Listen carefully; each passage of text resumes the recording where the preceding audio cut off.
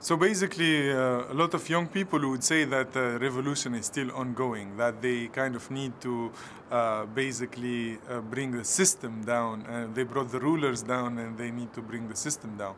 But what I'm seeing from my observation is that a lot of young people are uh, getting involved into uh, the political parties that are being created, into the efforts of uh, organizing fair and free elections.